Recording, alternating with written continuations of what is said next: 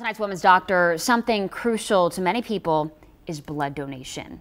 January is National Blood Donor Month, and a good time to mention here not only does blood donation save lives, it's really good for those who donate as well. Mercy Medical Center Dr. Jonathan Rich says there is a screening done during blood donation in which the donor may be alerted to an unknown health issue. Plus, donation can have psychological benefits for donors, knowing they did a really good deed because blood truly is one of a kind. As of yet, we don't have a way to give someone synthetic blood. Um, so we need the blood transfusions from donors, um, and it can be life-saving for individuals. And a medical condition that actually benefits from blood donation. It's called hemochromatosis. It's a, a genetic disorder where a person has too much blood, so donating blood actually treats the person's own condition.